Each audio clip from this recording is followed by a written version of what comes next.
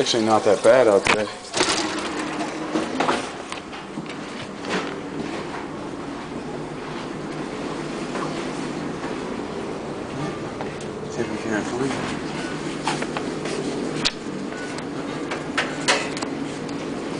Okay.